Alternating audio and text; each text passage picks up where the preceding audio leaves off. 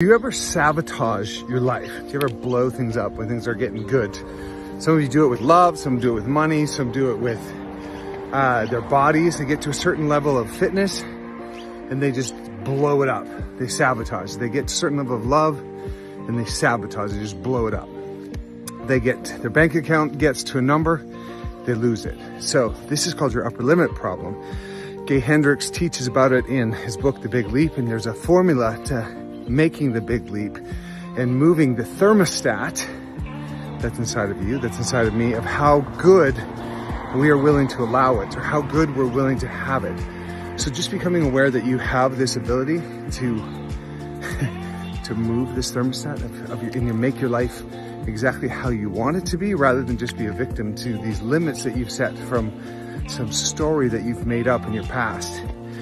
So go check out The Big Lip the big leap. Enjoy it.